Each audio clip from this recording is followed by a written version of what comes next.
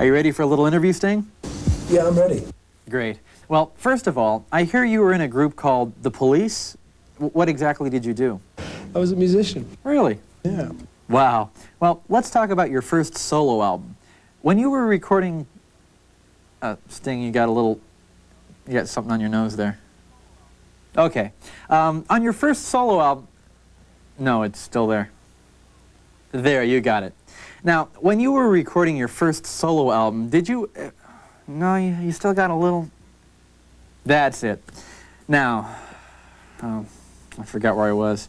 Um, say, how do you feel when people come up to you on the street and rub dog food in your face? I find that very upsetting, actually. How about if they put a paper bag over your head and forced you to bark like a chicken? I don't respond to that very well at all. Well, no wonder everyone thinks you're such a stick in the mud. Well, they think of me as a serious person, but I'm hilarious sometimes, you know. Oh, really? Well, let's see the funniest face you can make. Hey, that's pretty good. Now let's play Simon Says, okay? Simon Says, clean the wax out of your ears. Simon Says, do this. Good. Now pick your nose and wipe it in your hair. Ah, I didn't say Simon Says. now, you were involved with Live Aid. Uh, that, that must have been an incredibly spiritual experience. I can't even imagine it. After the show was over, what did everybody do? Start flicking each other's private parts with towels. Do you remember what it was like when you were an embryo? It seems like a lifetime ago. How do you feel about flossing your teeth? It's what I enjoy doing. It's, it's what I wake up and look forward to doing.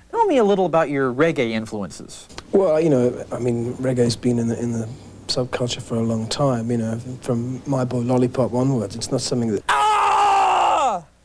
Oh, did I scare you? I'm sorry. Uh, go on about the um, reggae...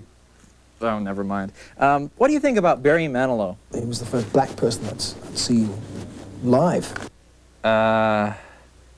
Is that the wrong, wrong answer? I'm afraid so. Oh, sorry. You know, you're really screwing up this interview. I thought I was doing rather well. yeah. Well, how would you say the Beatles are different from the New York Mets? The Beatles are better songwriters. Well, it looks like we're just about out of time, but I want to thank you for a lovely interview. And here's a nice lollipop for being such a good little boy. You know, I'm 36 years old. I'm not a kid. Yes, yes. Well, uh, I'm afraid you'll have to run along now. You'll understand when you grow up. But I am grown up. Geez, how long do you want this interview to go on? Until we're too old and stupid to do anything else. Look, pal, are you going to leave or am I going to have to make you leave? In order to do that, you have to kick my ass first. All right, pal, let's go right here. Come on, let's go. Come on. Oh, geez. Oh,